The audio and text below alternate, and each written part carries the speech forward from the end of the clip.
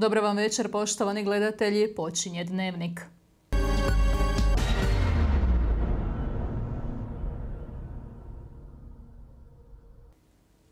Županjci će 29. kolovoza obilježiti Dan grada, a župljani župe mučeništva Svetog Ivana Krstitelja crkveni god. Povodom Dana grada organizirane su brojne priredbe, a na svečanoj sjednici gradskog vijeća zaslužnim pojedincima i ustanovama bit će uručene nagrade grada. Je li Županja doista, kako se govori, izgubila znatan broj stanovnika? Što se napravilo u 2018. godini na polju komunalne infrastrukture, a što se planira? Te koji problemi tište građane grada na Savi? Pitanja su na koja smo odgovore potražili kod županjskog gradonačelnika Davora Miličevića. Unatoč svim problemima, prvi čovjek grada na Savi kaže da je optimističan i vjeruje da će se pronaći rješenja za brojne probleme, a odlasci stanovnika zaustaviti i smanjiti. S Davorom Miličevićem razgovarala je Jasna Matija Savlja.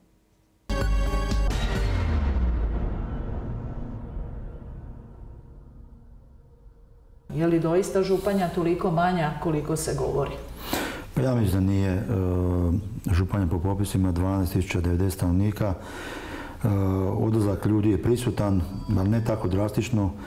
E, mislim da Županja možda ima pa 20% manje stanovnika. Provozate li se vi gradom? Vidite li vi natpise, prodaje se kuća? i autom i znam što kaže svaki rupu u asfaltu ima puno kuća koji su prazni, ima puno kuća domaćinstva koji imaju samo jednu osobu, ali opet mislim da Županja ima pa možda malo manje ispod 10.000 stanovnika, jer imamo cirka 4000 domaćinstva, cirka 500 domaćinstava prilikom slanja računa vidi se da fali. Znači opet Županja ima tu neki 10-20% manje stanovnika, ali to je prisutno u cijeloj regiji, pa i Hrvatskoj i po meni to je jedan, jedan veliki problem i mislim da na to moramo puno poraditi.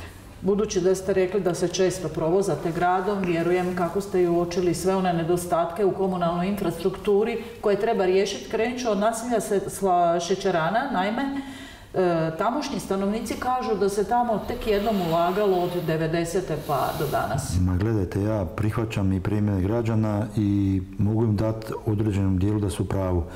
No, međutim, to je pitanje orijentacije. Mi smo mogli u danom trenutku rješavati Sladoranu, odnosno Šećeranu, a ne Ante Starčevića ili ne znam Petra Svačića. Ili... A kojim ste prioritetima išli? Išli smo gdje smo imali dozvole, Pristupili smo tim investicijama, evo došla je konačno Žečena na red.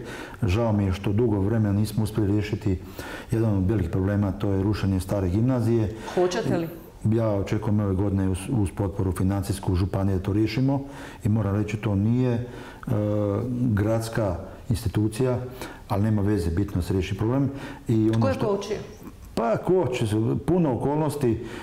Ja mislim da smo mi malo postali, neću čajkavi, malo smo inertni, inertni postali. E, to pitanje je bilo stavno na vijeću, aktualno i stalno smo imali e, primjedbi i mi smo nudili rješenja, međutim, Vrijeme kao vrijeme nosi svoje i problem nije riješen, ja se nadam da ćemo ga riješiti. Pored toga rješavamo teretni ulaz za šećeranu, za našu sladoranu i ove godine ćemo urediti centralnu ulicu, a onda pristupili, imamo i tih problema rješavanja imovinsko-pravnih odnosa, a onda bi se puno, puno toga otvorilo u mogućnosti rješavanja problema koji su prisutni. Ja smatram da taj, to je jedan, jedan od simbola županje, čak ima i neku zaštitu i mislim da bi trebali na tom poraditi da bude što kvalitetniji život naših čerani. Što je sa ostalim ulicama u gradu? Najavili ste obnovu i rekonstrukciju pet ulica. Pa evo, jučer smo ovaj, asfaltirali, jučer asfaltirali smo neki pet, šest ulica. Drago mi je kao čovjeku gdje se provozam i autom, biciklom, ali jučer smo obišli teren kada ljudi sa veseljem to dočekaju. E, smatram da smo trebali to napraviti prije, no međutim e, moramo biti svjesni da je jedno vrijeme krize za nas. Ova godina je jako dobra. E, zahvaljujući promjena poreza na dohodak, grad je uprihodao do sada poprilično veće novce. Što će to značiti konkretno? Pa konkretno mi smo 2018. uveli svim studentima stipendije, sva djeca školska dobili su 500 kuna, povećali smo rodilje naknade, uključili smo e, se u otvaranje mogućnosti da ne se povećava cijena udvoza smeća, udržavanja pročistača nekih sa 800 tisuća kuna. Znači, novci su tu. Ja imam običaj reći da i želim da moji građani znaju uvijek na mjesečnoj razini koliko se ostvari prihoda, gdje se novci troše, tako da je proračun transparentan, ali to nam daje i mogućnost da u povećani prihodi da nekim udrugama, a koji su bogatstvo grada, damo više novaca, tako i oni su dobili više novaca.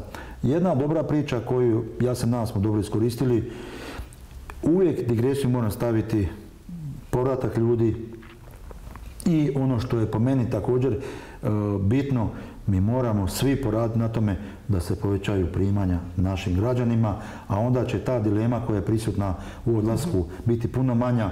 Posao adekvatan i nadam se da će poduzetnici, pa i mi ljudi koji se bavimo javnim poslom, konačno shvatiti da su ljudi kapital i da ljude treba platiti, a onda će ta dilema puno biti, biti manja. Ljudi će ostati ovdje, stvarat će obitelj, imat ćemo e, i djece za buduće. Ja ću jedan primjer. Jučer sam potpisao rješenje za uh, naknade 36. To je realno do kraja godine možda 60. I nije problem 2018. koja je na prolazi. Problem je 2024. gdje mi jednostavno nećemo imati možda 3-4 razda, prvog razda osnovne škole. Uh, mi ćemo sa svoje, sa svoje pozicije, sa svoje mjesta puno toga napraviti, ali mislim da sistemski se mora još puno toga promijeniti. U Hrvatskoj je život jako skup pa tako i u Županji. Vi ste malo prije spomenuli pročistač. Ja moram vas to upitati, budući kao novinarka koja pratim rad e, grada Županje, e, mogla sam čuti često primjedbe građana na račune za vodu. Stavljanjem pročistača u funkciju povećani su računi. Mi znamo da je on građan evropskim novcima. Je li to malo u kontradikciji? Ma gledajte, konkretno za te račune koje mi pričamo, desilo se jedan propust gdje, gdje poslana naput veći obračun za period. I automatski to je bilo drastično povećanje. Kao što sam rekao, konkretno u slučaju pročistača, grad Županja je odvojio u proračun 500.000 kuna da bude što manji udar na, računima, odnosno nismo htjeli dirati komunalnu naknadu, ali indirektno vraćamo građanima dio sredstava.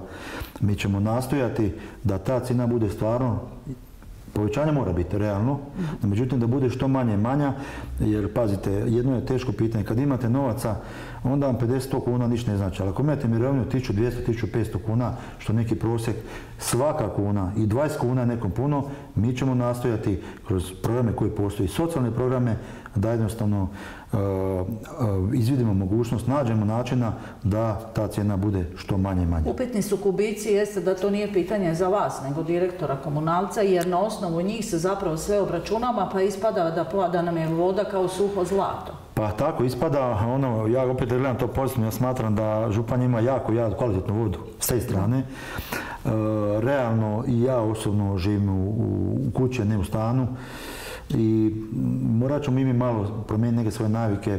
Imam... Uh, Biti štedljiviji, mislite? Prijatelje van Hrvatske koji pazi na sve. Možda i tu se može naći prostora, jer gledajte, sama potrošnja vode je kao tako, odnosno koristite vodu.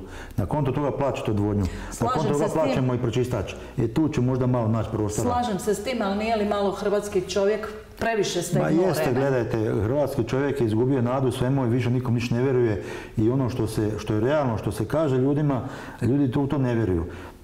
Odvajamo 300 tisuća kuna za odvoz smeća, Evo, ovih dana smo završili reciklažno dvorište, jedan lijepi objekat koji će nam dati mogućnost pružanja jedne kvalitetne usluge sa europskim novcima, a po meni je ona priča koja je iza toga još bitnija, mogućnost otvaranja sortirnice, određeno radno mjesto i, i opet i u toj priči e, grad Županje među prvima i normalno se susrećemo sa problemima kad radite nešto prvi puta znate da je to teško napravite greške.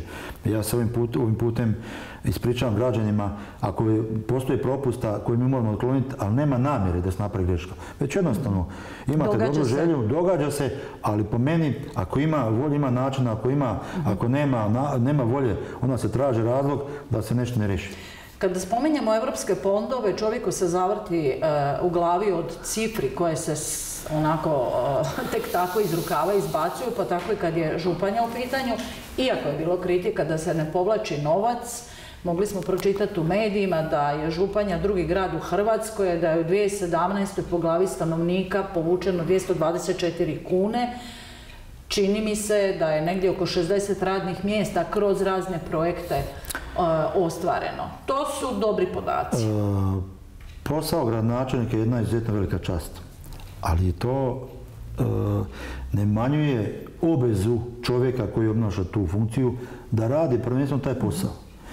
Ja smatram da također da je to velika čast, ali moram raditi svoj posao. Smatram da povlačenje novaca, odnosno korištenje mogućnosti povlačenja novaca iz europskih fondova, iz ministarstva, to je naš posao. I upravo iz tih razloga se dešaju te devijacije, mi možda to što radimo ne prezentiramo na prav način. Mhm. No, međutim, ja mislim da je bitnije što se desi, ne, ne da li ćemo mi negdje prezeti vrcu da se time pohvaliti. No, međutim, uvijek ostane rezultat. Kad se prezentira rezultat, onda se desi da grad Županja je prvi potpisao ugovor za sufinanciranje programa za želi, dvorište, dvorište da smo dobili te podatke, da smo u vrhu, samom vrhu, da je naš proračun u dvije, tri godine bio u odličnu ocjenu u transparentnosti proračuna. Međutim, ja smatram to, to je naš posao, mi to moramo raditi. Mi moramo biti na uslugi građanima, a onda će građani u poslu koji mi radimo znati to prepoznati ili neće znati prepoznati. Idemo dalje. Hvala vam lijepo. Hvala vam.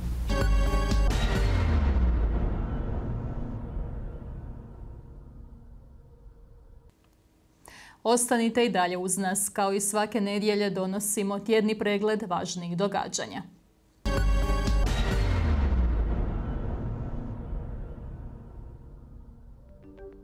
Ranije no ikada prijašnjih godina krenula je žetva suncokreta. Ova popularna uljarica inače na red za žetvu ne dolazi prije kraja kolovoza ili početka rujna, kad nastupa njegova fiziološka zrelost. Nove godine sredina kolovoza u većini polja označila je kraj žetve za uratarsku kulturu. Ocijeni se još nagađa, no prinosi bi barem za neke proizvođače mogli biti zadovoljavajući.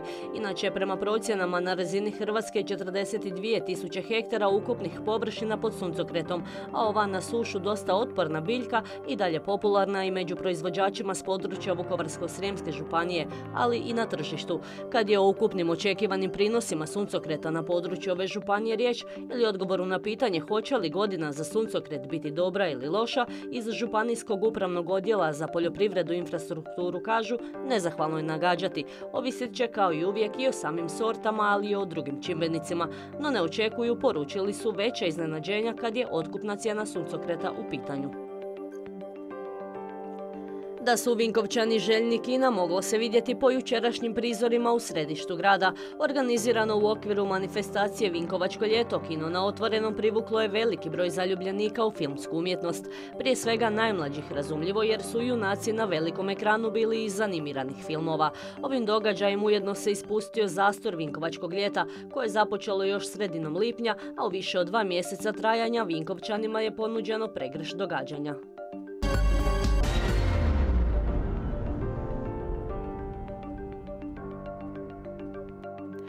U svibnju ove godine započeli su radovi na izgradnji kogeneracijskog postrojenja za proizvodnju električne energije na biomasu u Vukovarskoj gospodarskoj zoni. Prema planu 93% proizvedene električne energije plasirat će se u mrežu na osnovi ugovora o otkupu električne energije s hrvatskim operaterom tržišta energije, dok će se preostali dio koristiti za vlastite potrebe i opću potrošnju na objektu kogeneracije. Postrojenje su obišli vukovarski gradonačelnik Ivan Penava i Damir Kurtović, direktor investicija u ENA grupi, a ovom prigodom je najavljeno da bi postrojenje trebalo biti pušteno u rad u listopadu ove godine. Svečano su otvorene antičke filmske večeri koje su se u gradu na Bosutu održavale od 20. do 22. kolovoza. Šeste su ovo večeri koje posjetiteljima nude brojne sadržaje od projekcije filmova, glazbeno-filmskog kviza i filmske radionice. Večeri su otvorene dokumentarnim filmom Scream for Me Sarajevo, autora Tarika Hođića iz Bosne i Hercegovine, u kojem je ispričana priča o kultnom koncertu Brusa Dickinsona održanom 1994. pod opsadom u Sarajevu. Filmski tjedan u Vinkovcima koji je objedinio antičke filmske večeri i 12. Dorf otvorio je vinkovački gradonačelnik Ivan Bosančić. Cilj ovog festivala je promovirati Vinkovce kao rimski grad, grad bogate kulturne baštine.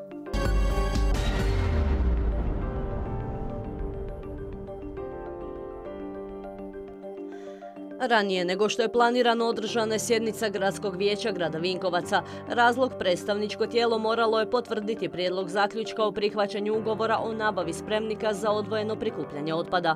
Vinkovci su se naime javili na javni poziv Fonda za zaštitu okoliša i energetsku učinkovitost, te im je odobren projekt vrijedan više od 4 milijuna i 200 tisuća kuna za nabavu spomenutih spremnika. Spremnici će građanima biti podijeljeni kroz dva mjeseca. Na sjednici Gradskog vijeća u program gradnje objekata i uređenja komunalne infrastrukture uvršten je i projekt nadvožnjaka Borinci, čija će izgradnja koštati oko 80 milijuna kuna. Između oporbe i vladajućih zaiskrilo je oko odabira ponuditelja za održavanje nerazvrstanih cesta i javne rasvjete. Odluka je prihvaćena, no bez ruku SDP-a. U funkciju je puštena prometna signalizacija na željezničko-cestovnom prijelazu u otoku poznatijem po nazivu Čistine. Iako broj prometnih nesreća prilikom sudara s vlakom promatrajući ukupne pokazatelje nije velik, upravo one najčešće završavaju s tragičnim posljedicama, što je bio slučaj i na prijelazu Čistine kada je u studenom 2014. godine poginulo četvero ljudi. Otočani su na signalizaciju čekali godinama. Grad je uputio inicijativu i za osiguranje preostala dva željezničko-cestovna prijelaza u samom otoku. Nakon pružnog prelaza na red bi trebalo doći uređenje zgrade kolodvora koja nije obnavljana još od vremena domovinskog rata. Vrijednost projekta iznosi milijun i pol kuna, a 85% sredstava osigurano je iz evropskih fondova. Otočki željeznički kolodvor napokon će dobiti i dugo očekivani peron za pristup vlakovima. U svrhu što sigurnijeg i ugodnijeg čekanja za putnike izdvojeno je 150 tisuća kuna.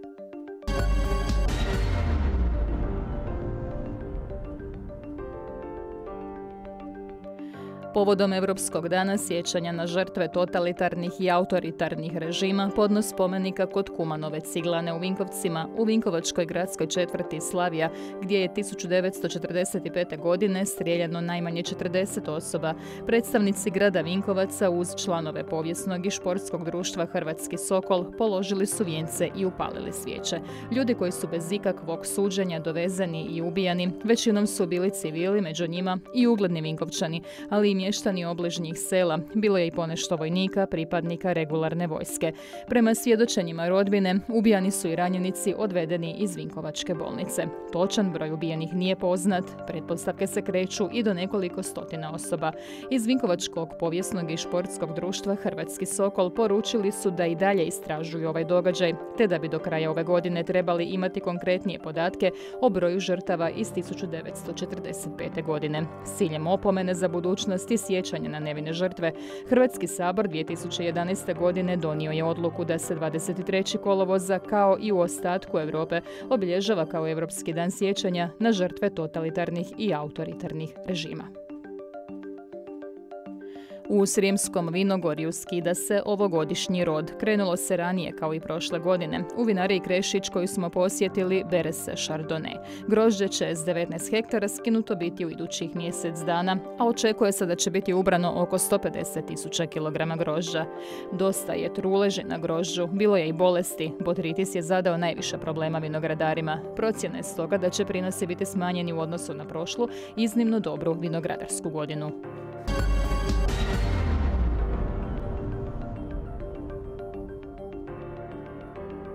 Povodom priprema za snimanje filma i serije Šesti autobus u Vukovaru je održana medijska konferencija na kojoj su autori filma Eduard i Domini Galić predstavili vlastiti projekt.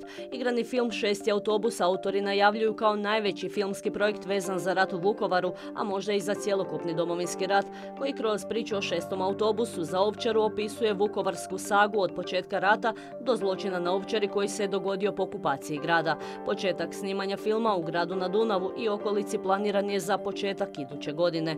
Glavna ženska uloga pripast će jednoj američkoj glumici, a u filmu su 80 uloga, angažman će vjerojatno pripasti glumačkim imenima iz cijele regije, Hrvatske, Srbije, Bosne i Hercegovine te Slovenije.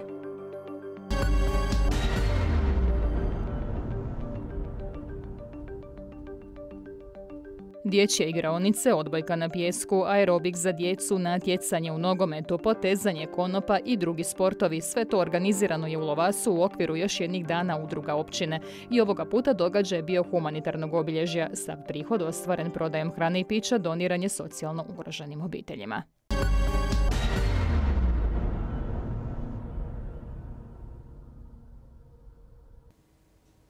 Toliko u večerašnjem izdanju Dnevnika. Hvala što ste bili s nama. Ostanite i dalje uz naš program. Doviđenja.